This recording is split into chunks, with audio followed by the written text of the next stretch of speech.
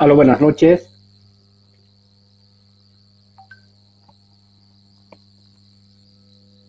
Solamente consultar a los organizadores del evento, la parte técnica, si me escuchan bien.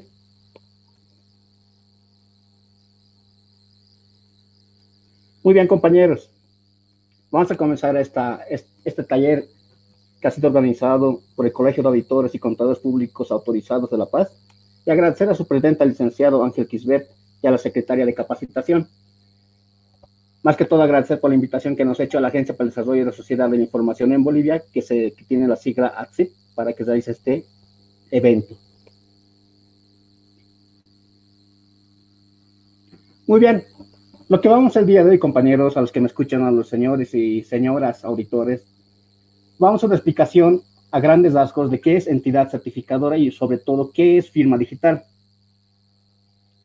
Pero para entender qué es firma digital, hay que utilizar y saber varios conceptos. Esos conceptos se van a aclarar el día de hoy. Por favor, rogar a la parte técnica de organizadora que me avise si no se escucha bien para volver a repetir. Bueno, comencemos. Me voy a presentar a grandes rasgos. Mi nombre es José Machicado, soy jefe de la Unidad de Instituto de Servicios. Actualmente ocupo interinamente como director ejecutivo de la ATSIP. Y nuestra principal función como ATSIP es brindar servicios críticos. Pero entendamos el concepto de críticos. Son servicios que no pueden dejar de funcionar, es decir, que tienen que estar constantemente monitoreados y en pleno funcionamiento. Entre ellos está nombre de dominio.bo y firmadigital.bo. Son los dos dominios que nunca deberían caerse porque pueden acarrear bastante problema a la sociedad y en sí a nuestra entidad también. Y obviamente también administramos el portal de software libre, donde las entidades públicas han publicado su software desarrollado por y para entidades públicas. Pasando a la presentación que es netamente introductoria, vamos a pasar a la lámina 2, netamente introducirnos a lo que es la firma digital. Vuelvo a repetir, para entender qué es firma digital, hay que entender varios conceptos. Esos conceptos los vamos a aclarar el día de hoy. Una de las preguntas que siempre me hacen cuando doy seminarios es, ¿por qué se tiene que hacer filas y filas y más filas? Para cualquier trámite todos tenemos que hacer filas o alguna vez en nuestras vidas hemos hecho filas.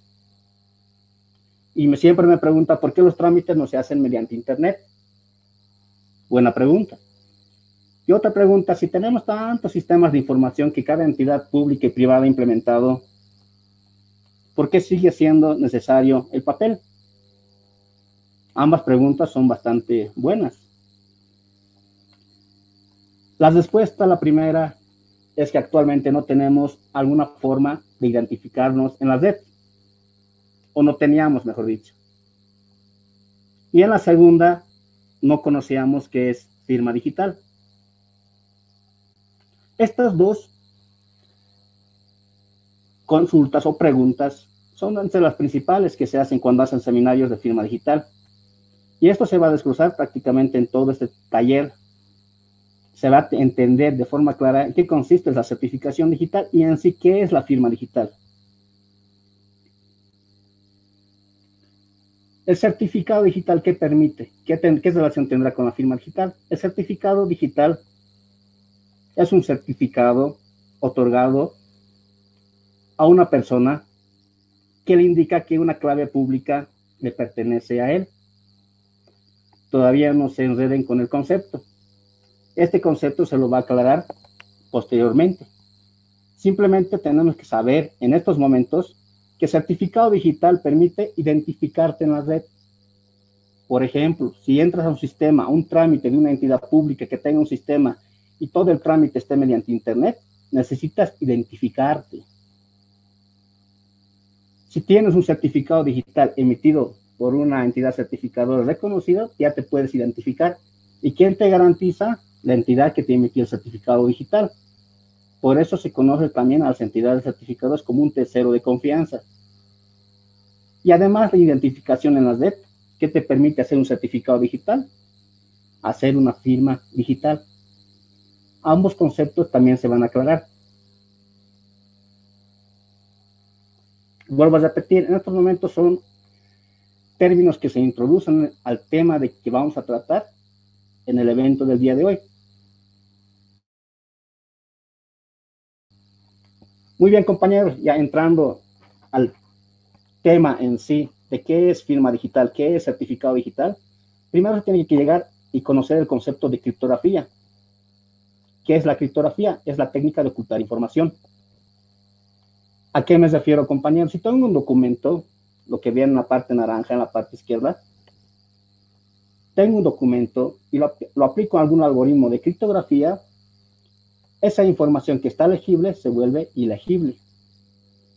Es decir, no cualquiera persona lo va a poder leer y entender. Por eso la criptografía es la técnica de ocultar la información.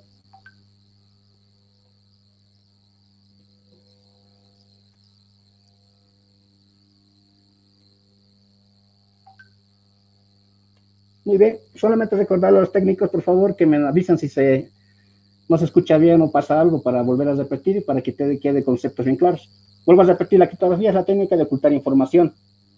Tengo un documento legible, aplico un algoritmo, un programa de encriptación y se vuelve ilegible. Hasta ahí es bastante simple la técnica y el entender el concepto de qué es criptografía. En criptografía, compañeros, hay dos tipos. Hay la simétrica y la asimétrica. Simétrica y asimétrica. La simétrica, ¿en qué corresponde? La criptografía simétrica, compañeros, es la, la utilización de una sola clave para cifrar y descifrar mensajes, para encriptar o desencriptar mensajes. Es decir, vamos a tener dos personas que se van a juntar en algún momento en un lugar y van a decir, sabes, desde el día de hoy nos vamos a enviar mensajes seguros, para lo cual vamos a utilizar una clave. Para hacerlo más simple, una contraseña, con el cual nos vamos a enviar de forma segura mensajes a través de la red. Haciendo una analogía, es lo mismo que una llave y un candado. La llave nos va a permitir abrir el candado y también cerrar el candado, haciendo una analogía. Vuelvo a repetir, la criptografía simétrica es la utilización de una sola clave. Los dos extremos, en este caso las dos personas que se van a enviar un mensaje de, de forma segura, tienen que conocer esa clave, esa contraseña para hacerlo más simple. Y haciendo un ejemplo más claro, tenemos a Juan y Ana. Juan y Ana ya se han juntado en un lugar y han decidido, sabes, vamos a utilizar nuestra clave secreta que va a ser osito 123, con el cual vamos a mandarnos mensajes seguros. Muy bien, como ya tienen la clave a utilizar para mandarse mensajes seguros, tenemos a Juan. Juan agarra el mensaje o el documento, cifra o encripta el documento con la clave que han definido junto con, Juan, con Ana, el mensaje está cifrado. El mensaje viaja por todo Internet hasta llegar donde Ana. Ana, para poder descifrar este mensaje, va a utilizar la misma clave con la que Juan ha encriptado o cifrado el mensaje. Como se pueden dar cuenta, ambas personas conocen y utilizan una sola clave. A eso se refiere criptografía simétrica a la utilización de la misma clave para cifrar y descifrar mensajes, encriptar y desencriptar mensajes. Pero ¿cuál es el gran problema de esto, compañeros? Vivimos en un mundo globalizado, en especialmente en esta pandemia.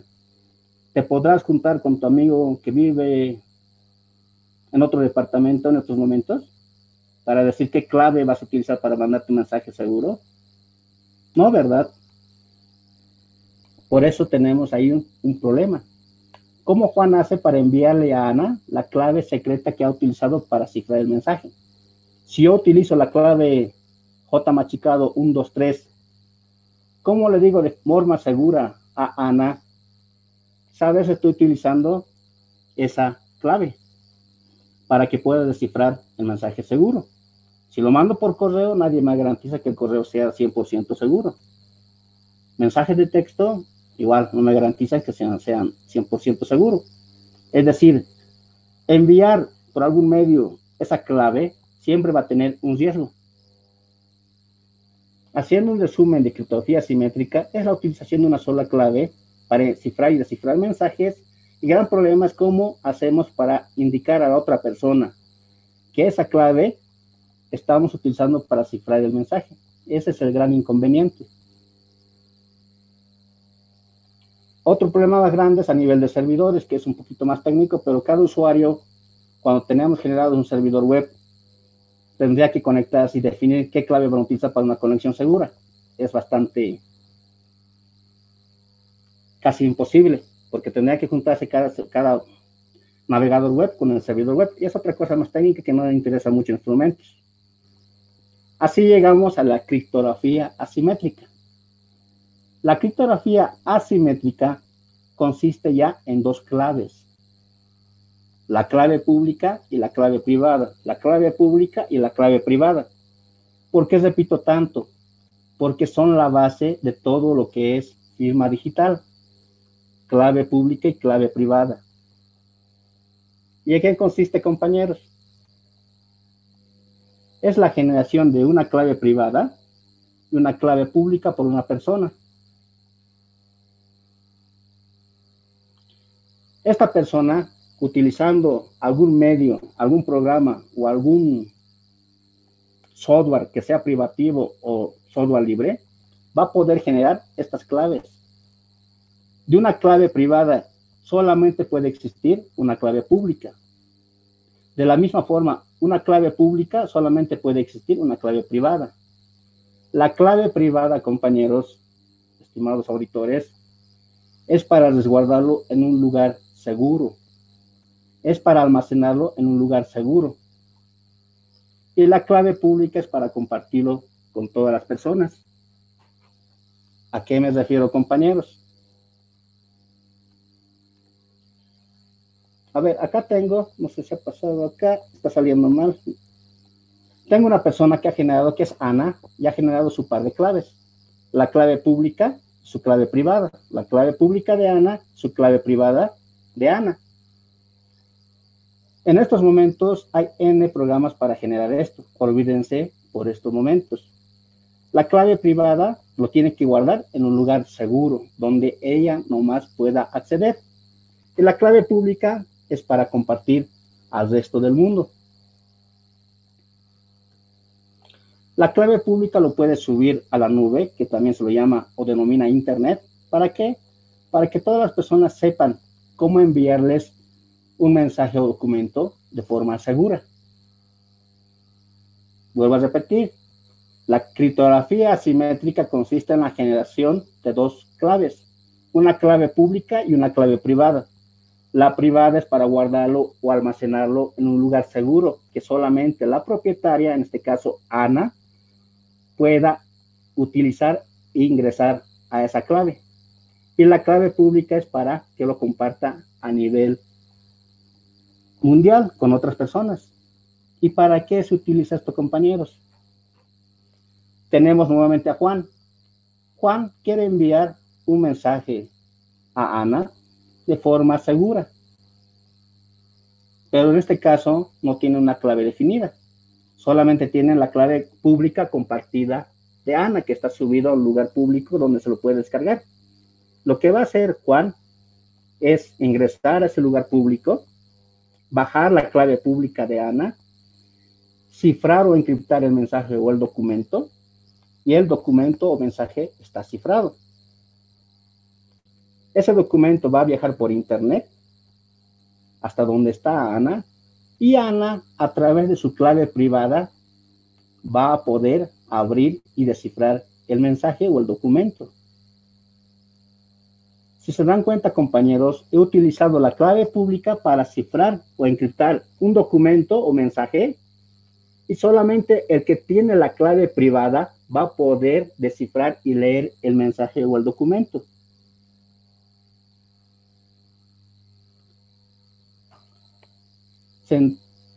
Es bastante simple su funcionamiento. Vuelvo a repetir, La clave privada es, un, es una clave que solamente el propietario, el dueño, lo tiene que poder acceder y utilizar. La clave pública es para subirlo a un lugar público. Esa clave pública va a ser utilizada para enviarte documentos de manera segura y a través de tu clave privada vas a poder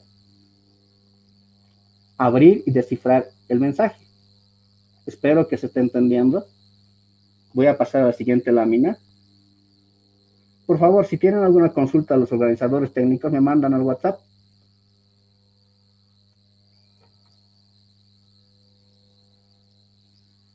¿Se está escuchando, compañeros técnicos, por favor? Simplemente para colaborar.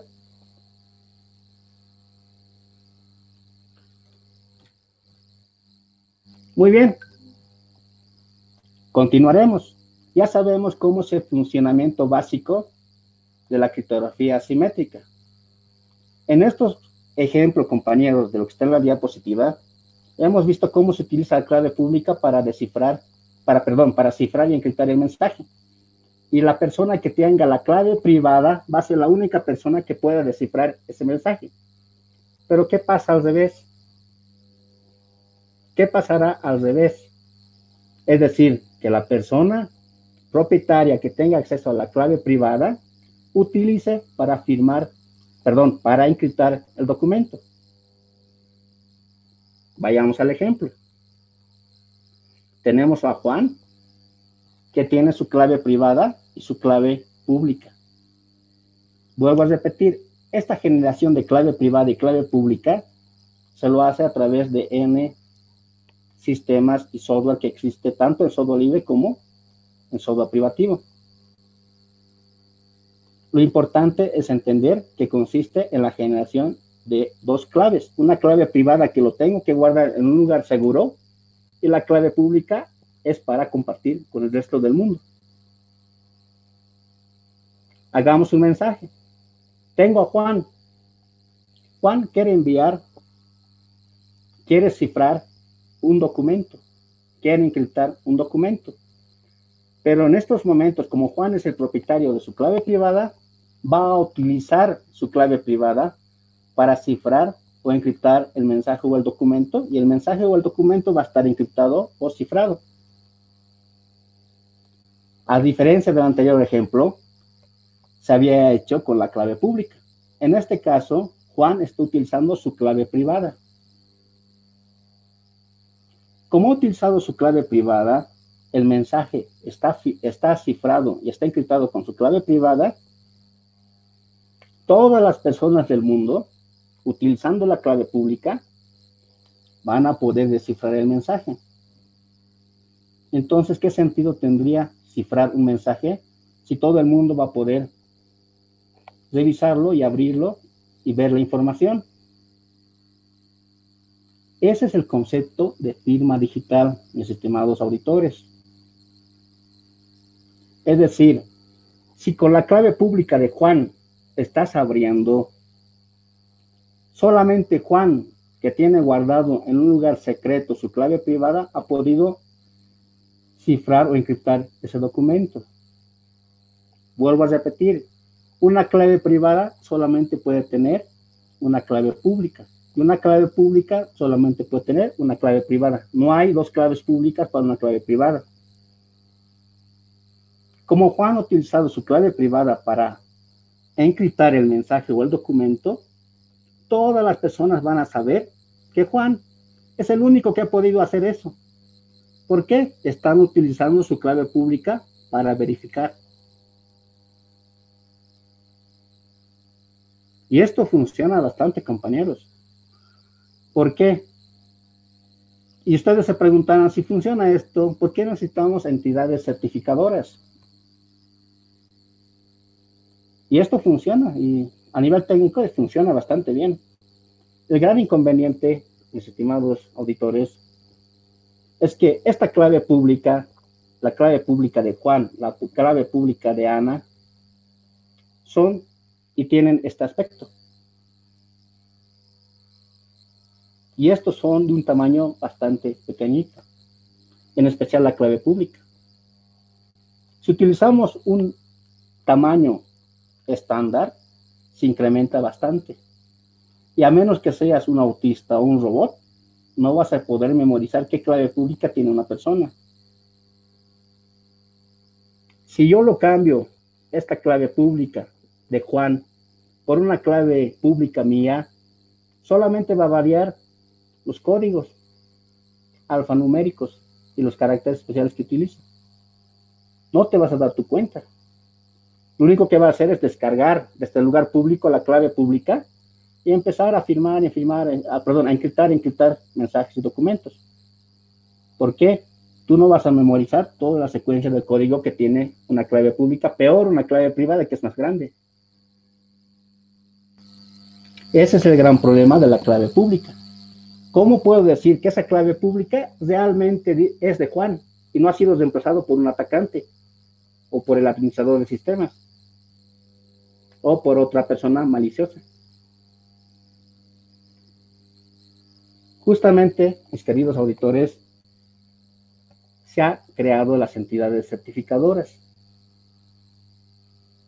Pero antes de hablar de entidades certificadoras, quisiera tener retroalimentación de las personas técnicas que están viendo. Si está escuchándose bien, por favor, poder continuar.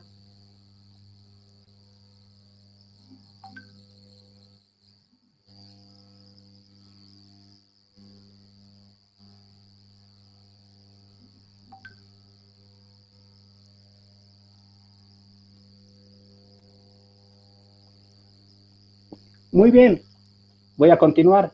Pero antes de pasar, la utilización de la clave privada para encriptar o cifrar un mensaje o documento proporciona unos conceptos que es integridad, autenticación y no repudio.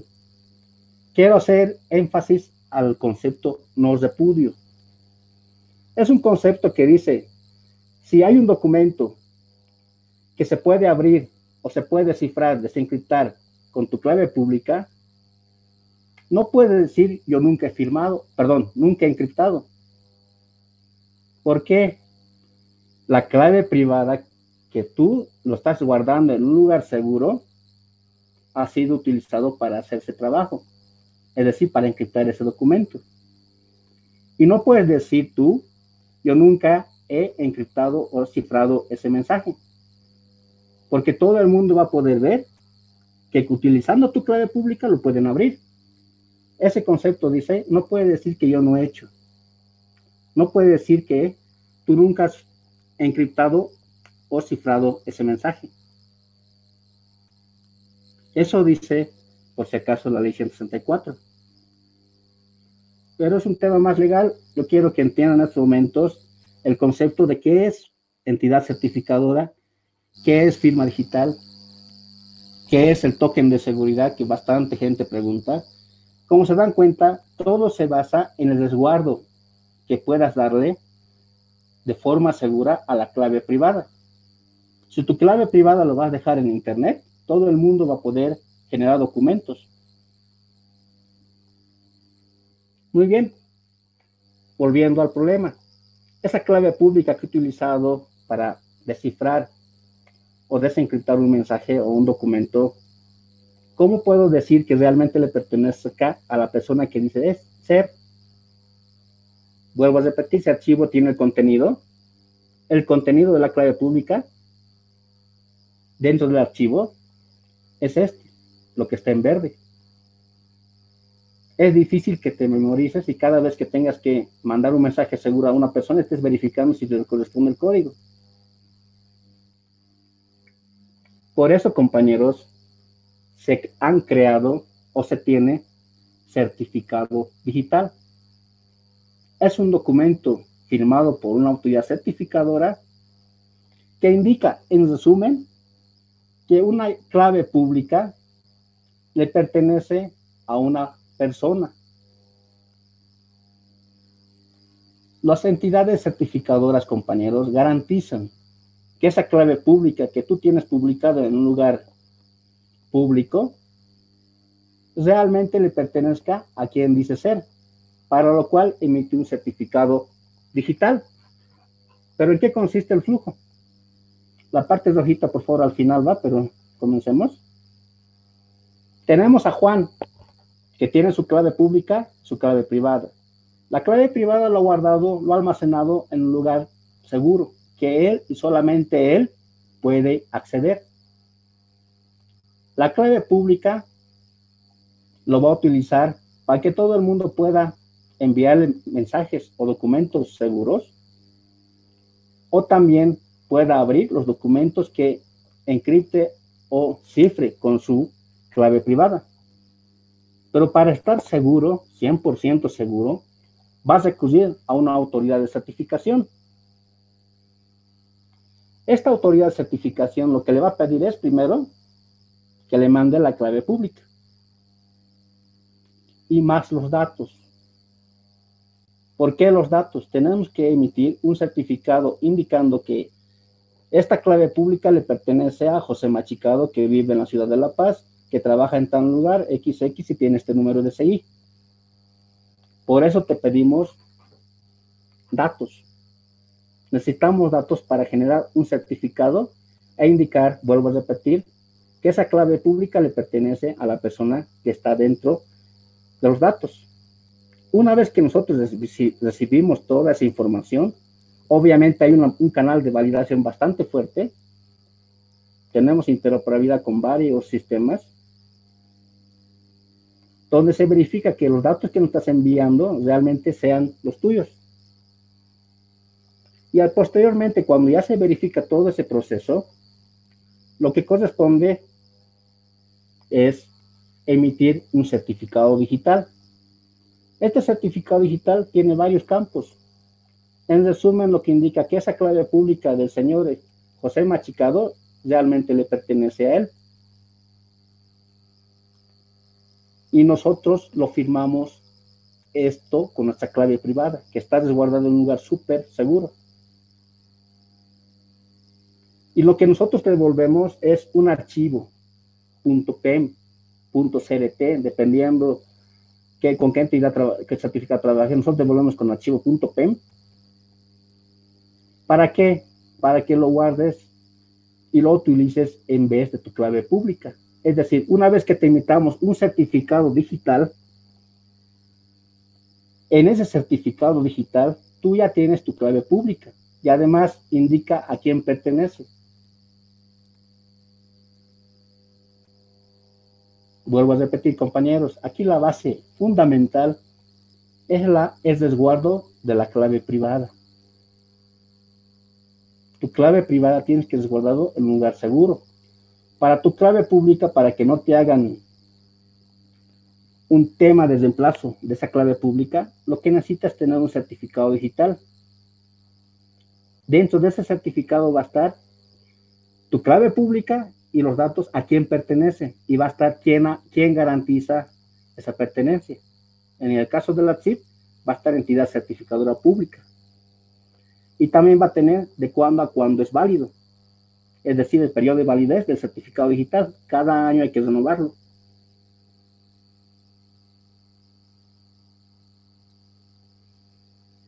Muy bien, compañeros. Espero que se estén comprendiendo más que todo en qué consiste todo el tema de certificado digital y firma digital, vuelvo a repetir otra vez este concepto. La clave privada es lo fundamental. Si tu clave privada se pone en riesgo, te pueden hacer aparecer documentos como si hubieras firmado tú. Y la ley 164 dice que estamos al mismo nivel, una firma digital que una firma manuscrita o autógrafa. Como es tan importante el resguardo de la clave privada, se tiene que asegurar dónde se lo va a almacenar. Actualmente hay dos, dos niveles. El primer nivel o el más alto dice que lo guardemos en dispositivos de seguridad donde se va a almacenar la clave privada, la clave pública, que a su vez se va a cargar el certificado digital. Es decir, primero generas tu par de claves dentro de este dispositivo de seguridad, es tipo USB. Cuando generas la clave privada y la clave pública, este dispositivo de seguridad no, permita, no permite que se extraiga o se saque la clave privada. Eso es lo fundamental de la seguridad y eso es un estándar FIP 140 nivel 2. Es un estándar norteamericano. Es decir, cuando yo genero mi par de claves público y privado dentro de un token de seguridad, la clave privada no se va a poder extraer. Y entonces me dirán, entonces, ¿cómo puedo encriptar, desencriptar un documento? Utilizando un PIN. Es, el mismo, es la misma utilización de los PIN que se utilizan para las tarjetas de débito. Cuando vamos al cajero para poder acceder a nuestra cuenta, nos piden un PIN. Es lo mismo. Solamente que el PIN en vez de ser de cuatro caracteres, acá son de ocho o de más tamaño.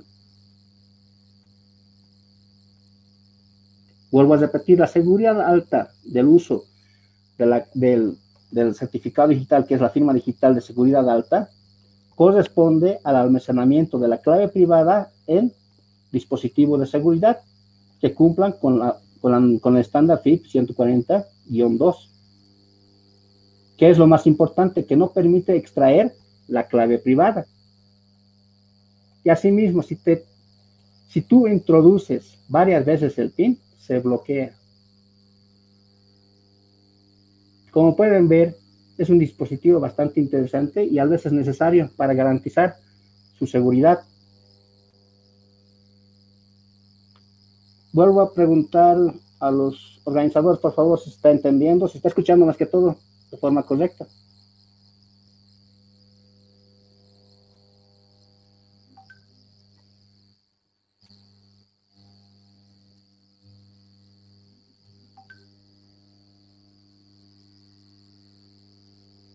Muy bien, esa es la seguridad alta, compañeros, auditores. El almacenamiento en token de seguridad. Hay otro tipo, que es certificado digital o firma digital de nivel normal. Pero esto ya consiste en que el par de claves, el público y el privado, más que todo el privado, se van a almacenar dentro de un programita software. Y efectivamente, a diferencia del token de seguridad, desde este programa software donde está almacenado mi clave privada, sí se puede exportar. Es decir, en un archivo que tenga una extensión .p12, lo puedo sacar del programa y llevarlo a otro programa o lo puedo llevar a otro lugar. Por eso se llama seguridad normal. La seguridad alta está garantizada con el dispositivo de seguridad. La seguridad normal, la clave privada lo puedes exportar y llevarlo y portarlo a otro lugar. Obviamente, el tener dispositivos de seguridad lo complica bastante en, el, en la actual coyuntura que vivimos. Al tener un token de seguridad, tienes que ir físicamente a una entidad certificadora, en este caso la entidad certificadora pública ¿sí? has de coger tu token de seguridad. Lo que está lo que se debería hacer utilizar por software, pero también tiene un riesgo de que el almacenamiento de tu clave privada va a estar dentro de un software que sí se puede robar, o mejor dicho, se lo puede exportar y llevarlo a otro sistema o a otro lugar.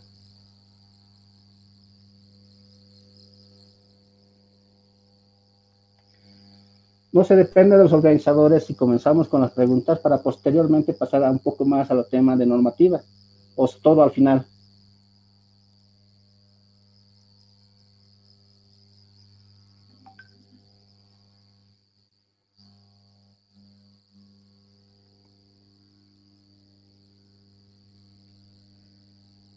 Perfecto. Ya, lo que teníamos que mencionar de certificado digital y firma digital y el almacenamiento de la clave privada sobre todo, espero que se haya comprendido, vamos a saltar a un poco al tema normativo.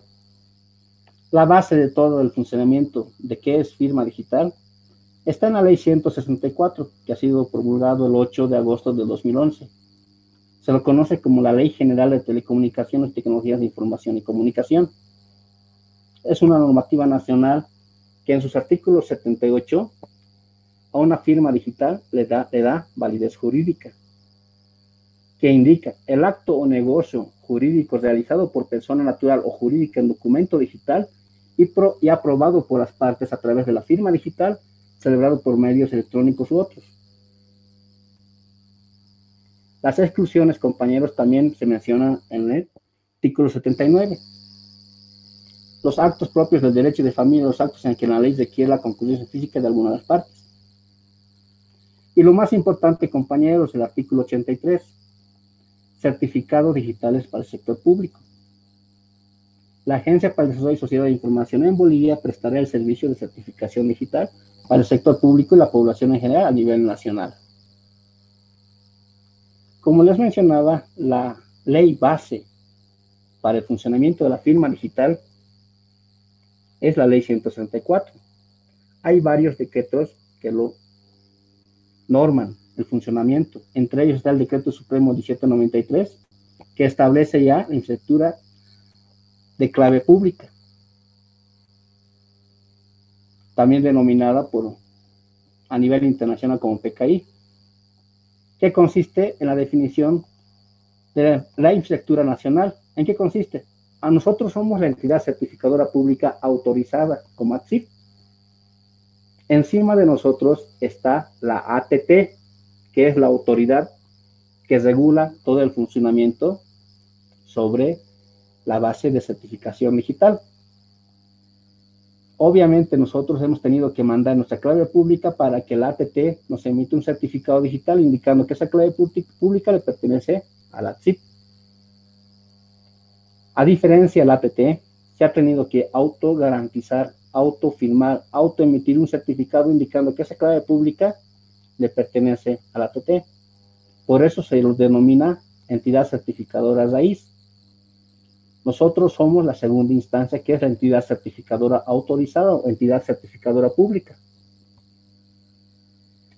Nosotros tenemos para agilizar y socializar y sea más accesible agencia de registros. Entre los principales está la aduana nacional, el SIN y Dornuplo. El SIN estamos entrando al tema de facturación electrónica y el CIN ya ha sido reconocido, está en trámites de hacerse reconocer como agencia de registro de la entidad certificadora ATSIP.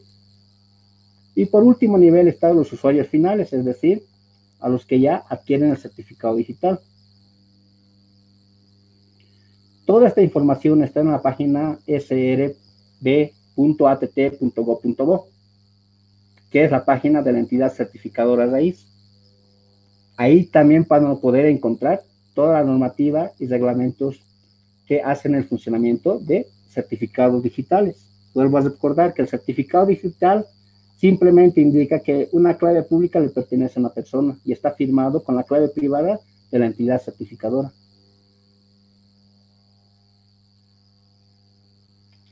Validación de documentos.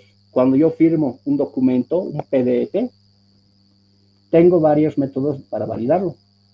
Tenemos un validador online que dice validar punto firma digital, donde cargas tu documento y te dice si es, está firmado con un certificado emitido por nosotros y es reconocido dentro de la infraestructura tecnológica y que es la base la ATT.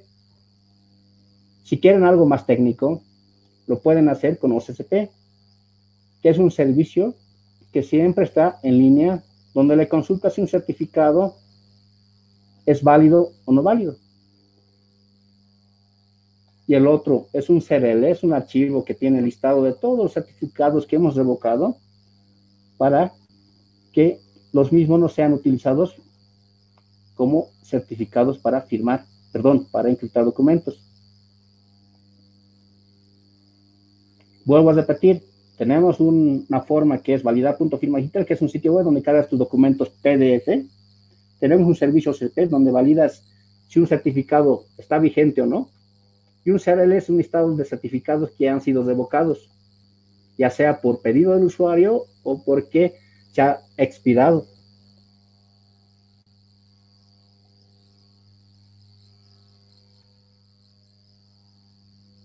Requisitos, compañeros, mis queridos auditores.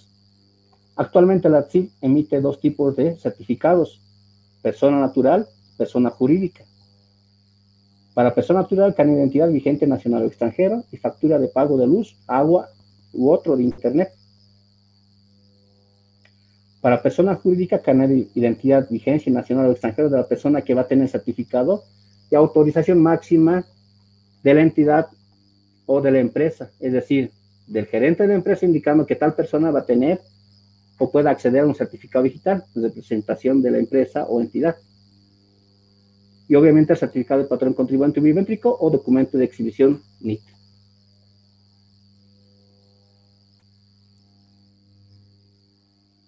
Los precios, compañeros, estamos en reajuste de precios.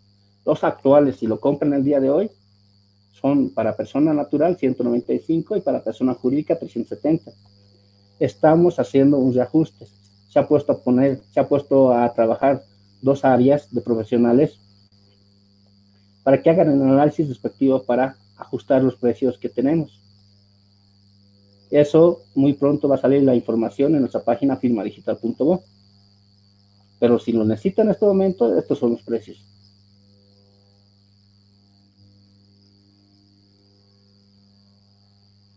La siempre va a recordar a sus usuarios que tienen que tener responsabilidad en el resguardo y uso de la clave privada. ¿Por qué la clave privada? En los ejemplos anteriores es la base de todo lo que es firma digital. Con tu clave privada haces firma digital. Vuelvo a repetir, la ley 164 indica de forma clara el término del concepto no repudio.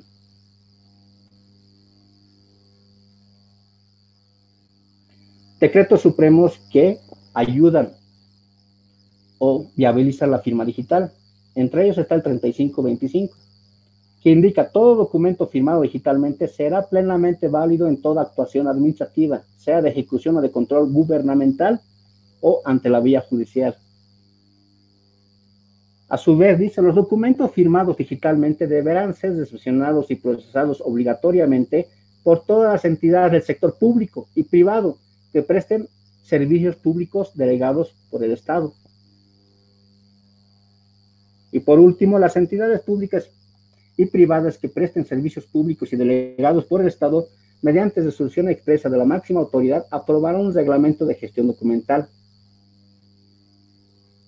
si pueden ver, compañeros, mis queridos auditores, ya tenemos un decreto donde ya hacen el reconocimiento de, la acción del uso de un certificado, que es la firma digital, que tiene el mismo nivel que una firma manuscrita o autógrafa.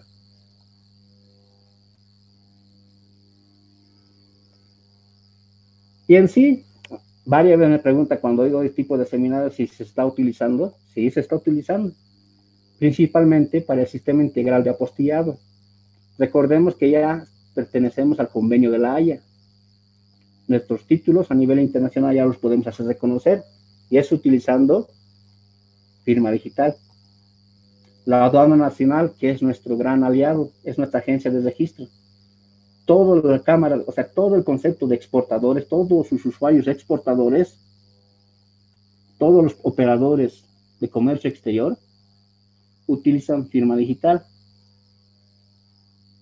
Es decir, en estos momentos que no podemos salir de nuestras casas, que estamos en cuarentena, las personas que viajan al exterior a traer productos o insumos que son muy necesarios, no necesitan ir a la aduana nacional, sino pueden firmar mediante internet. Y pueden ver en ejemplos en la diapositiva. Y obviamente la CIP es la primera entidad, junto con la GETIC, en eliminar el uso de papel. Todos nuestros sistemas están orientados al, al mundo digital. Prácticamente el uso de papel lo hacemos cuando tenemos que mandar notas a otras entidades que no tienen un buzón electrónico o oficina digital.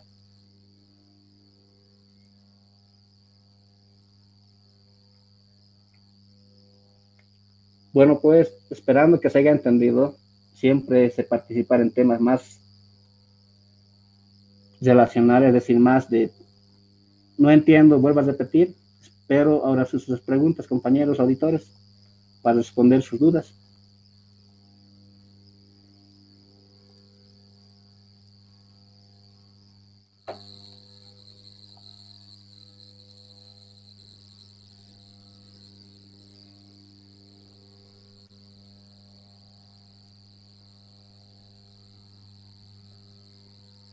¿Alguna pregunta, compañeros? Pregunten.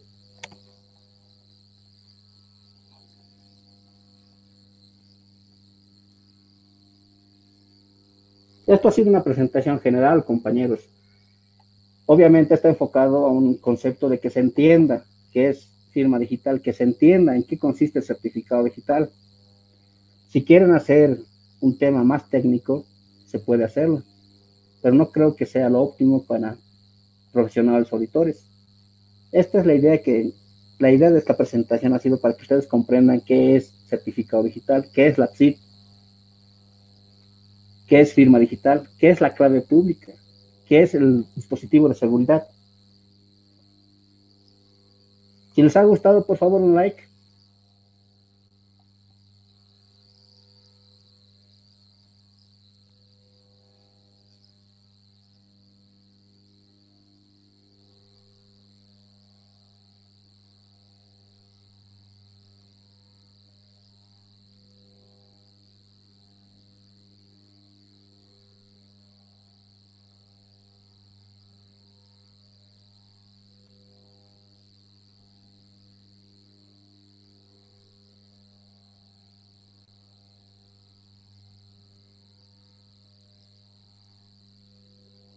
Tenemos una pregunta de la, de la auditora Ariel Marca. Me dice, buenas noches, ¿pueden como ATSIP coordinar con AGETIC e impuestos internos para que se firmen digitalmente los balances? Incluso Solvencia podría empezar por esta firma digital. Sí, compañera, más bien, buena, gracias por la idea. En estos momentos me estoy anotando para poder coordinar con los compañeros de la AGETIC. Y la idea es, compañeros, que modernicemos nuestros sistemas. Los sistemas que tenemos generan papel, más papel, burocracia. La firma digital te permite optimizar y obviamente tienes que cuidar, vuelvo a repetir, la clave privada. Más bien agradecerte, mi querida auditora Ariel Marca, y vamos a tomar en cuenta para poder agilizar ese tema.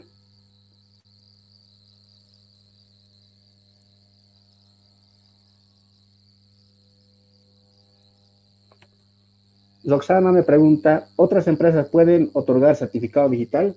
Hay una entidad certificadora privada reconocida por la TT y hay una certificadora pública. Enseguida estoy pasando, por favor. Dependiendo de dónde vas a aplicar tu certificado, o sea, a qué entorno vas a aplicar. Estoy yendo a la ley, por favor. Dice, les pasa mucho.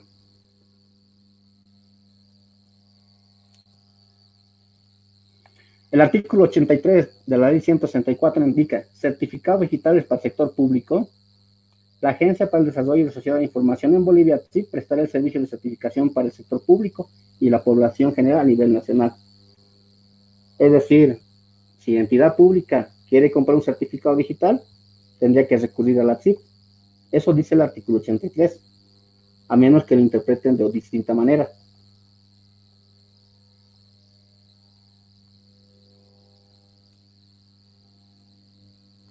El compañero Pacheco me pregunta, ¿qué entidades privadas ya me aceptarían la firma digital? La banca está entrando con fuerza, compañeros, ya sea con la, con entidad certificadora pública o con la privada, se está y va a haber bastante reconocimiento a firma digital. ¿A qué me voy? Recuerden que hay un decreto supremo de teletrabajo, el cual se está reglamentando muchos van a adoptar esa medida o ese método de trabajo. La firma digital está iniciando su despliegue. Cada día más entidades van a empezar a aceptar la firma digital.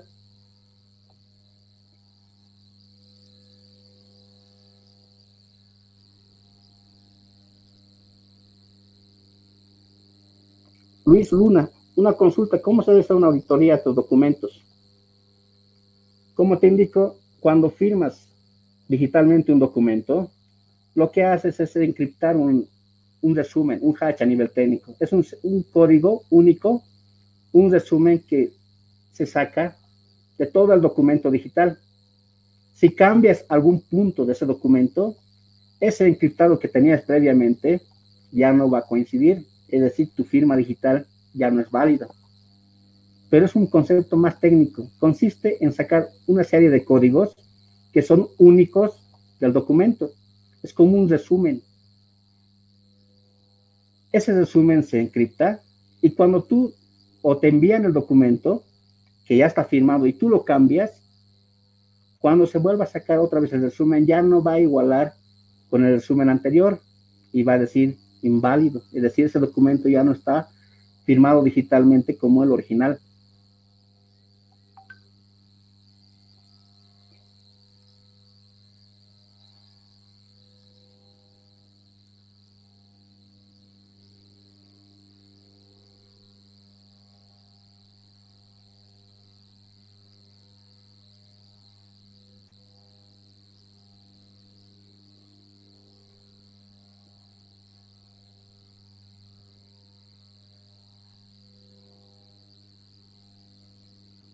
Justamente varias personas me están preguntando de los descuentos por adquirir certificado digital.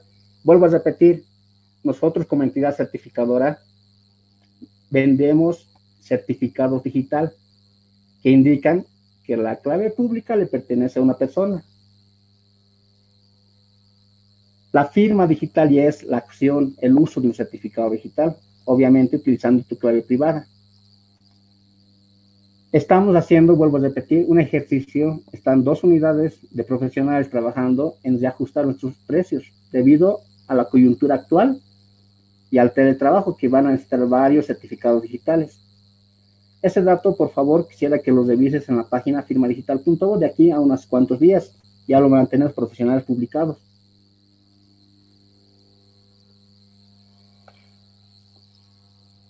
El firmador, compañeros, hay varios hay un software libre que nosotros lo proveemos, que es el Jacobito, llamado Fido, que es una herramienta que, está libre para descargar en softwarelibre.go.bo, en el repositorio oficial, donde tú descargas la herramienta que utilizamos nosotros para administrar tu token de seguridad, es decir, generar el par de claves, firmar documentos PDF, anexar tu certificado digital dentro de tu token eso ya lo proveemos nosotros. También la GETIC lo ha liberado en el repositorio estatal de software libre, donde tú puedes utilizar el Firmatic.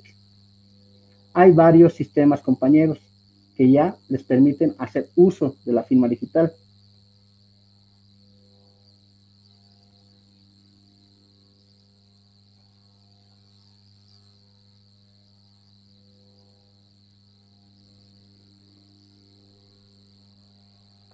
La facturación electrónica, compañeros, sí tenía que salir eh, hace el año pasado. Después se dijo que iba a salir este año, en marzo. Estamos esperando que nos den luz verde, por si acaso ya está la integración de sistemas. Es decir, ya tenemos la forma de emitir certificado digital en línea junto con, la, con el Servicio Nacional de Impuestos. Y estamos esperando netamente que haya un sí o un no una respuesta afirmativa del Servicio Nacional de Impuestos Nacionales. Vamos a empezar a mandar notas para que nos digan cuándo va a ser factible este tema. Recordemos que la firma digital ayuda bastante al tema de clonación de facturas y va a ser de gran ayuda.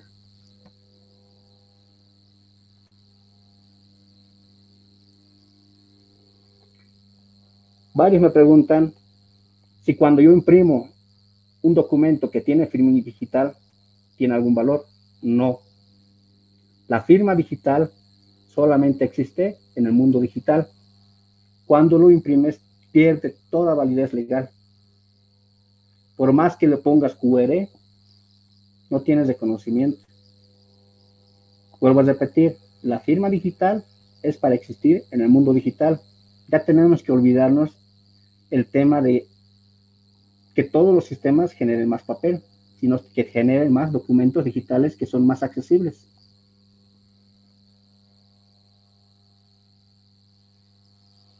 Aquí hay una pregunta que me dice, en caso que yo no renueve mi certificado, ¿el documento con firma digital sigue teniendo validez? Sí, compañero. Cuando tú validas un cuando firmas un documento, no es que cuando termina tu validez tu certificado se va a eliminar. Sigue, tiene validez tu firma digital no se pierde. Es como una firma manuscrita. Tu firma va a estar ahí y en cualquier momento lo vas a poder validar con la autoridad competente.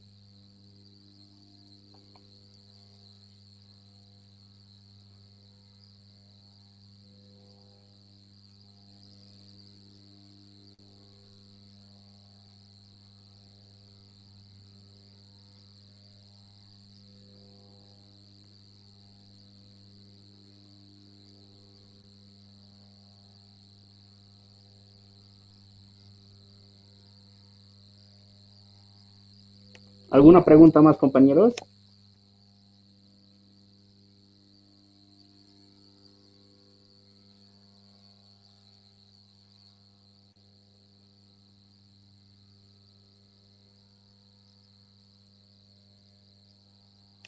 El costo mencionado es por cada certificado o por empresa. Si tengo cuatro firmantes, habilito cuatro certificados. Sí, compañero. Es decir, el costo es por adquisición de un certificado digital. Obviamente ese certificado digital va a ser asignado a una persona y en el certificado que tenemos te vamos a indicar que esa persona tiene esa clave pública y tú vas a poder firmar digitalmente o sea, digitalmente va a poder firmar ese documento, documentos esa persona que tiene el certificado digital. En resumen, es por certificado digital, compañeros.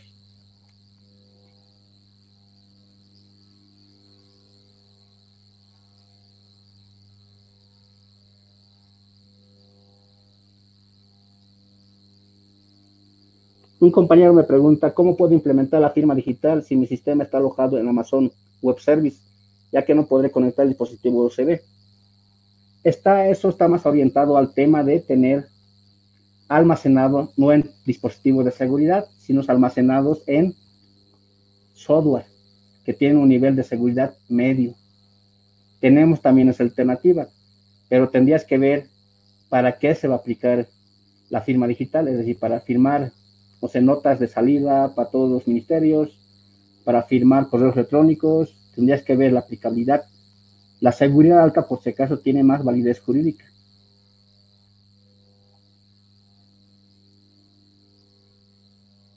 Sí, compañero, les voy a mostrar un ejemplo. Espero que no se corte. Me están preguntando si un documento puede tener... Un momentito, por favor, les voy a mostrar.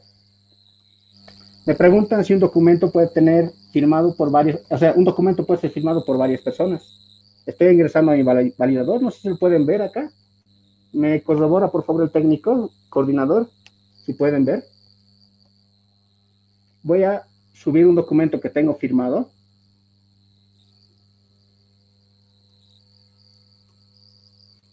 Estoy subiéndolo al validador. Espero que la conectividad esté bien.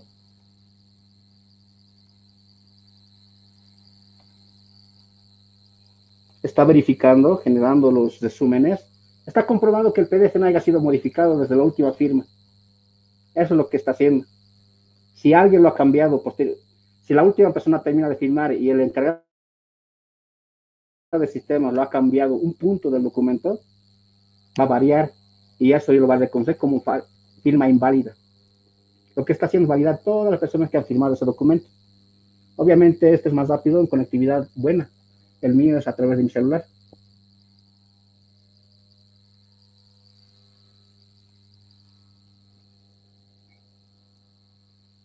A ver, para hasta que cargue, seguiremos por favor con preguntas.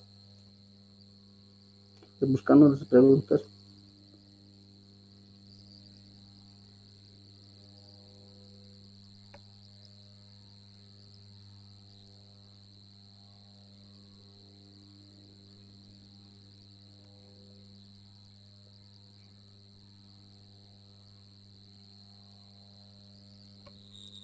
Ya terminó. He subido un PDF, un documento PDF que es nuestro plan de emergencia, donde varias personas han podido firmar. Son exactamente siete personas. Y como pueden ver, el documento puede tener N firmas digitales. Si tienen una reunión, un acta que firmar, lo puede hacer digitalmente y firmar la, a la misma vez todos.